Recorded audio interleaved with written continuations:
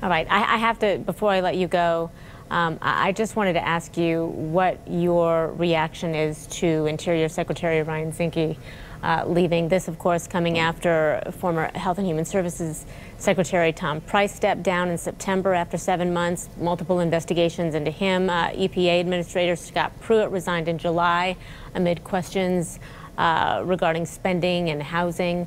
Uh, now Zinke is going to be gone. Your thoughts?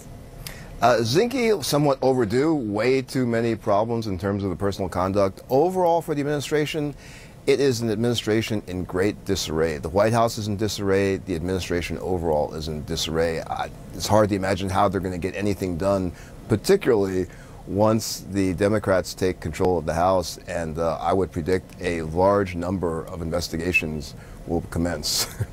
All right. Shan Wu, always appreciate your perspective, sir. Thank you for being here. Yeah, nice to see you. You too.